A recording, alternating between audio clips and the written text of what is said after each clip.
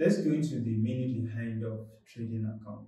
Have you ever heard about trading account before and you don't know much about it? For the purpose of this uh, class, we are going to talk about the idea and every theory aspect related to trading account. First off, what is trading account?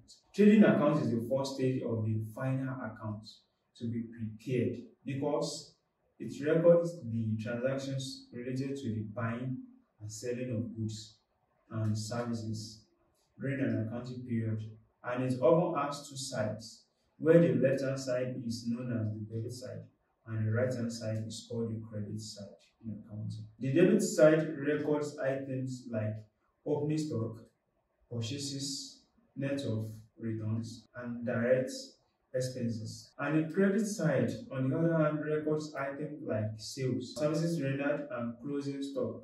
It totals the debit and credit side to determine if there is any difference. If the debit side total is greater than the credit side total, then uh, it is termed as gross loss.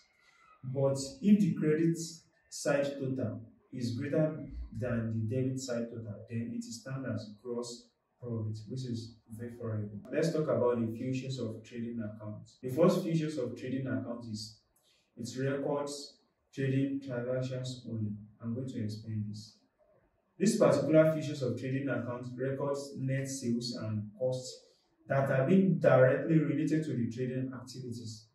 The second one is computation of gross profit or loss. The trading account records all the net sales and costs directly related to the trading activities in order to determine the gross profit or loss from such activities. The third one is transfer of gross profit or loss. Such gross profit or loss computed in the trading account is to be transferred to the profit or loss account.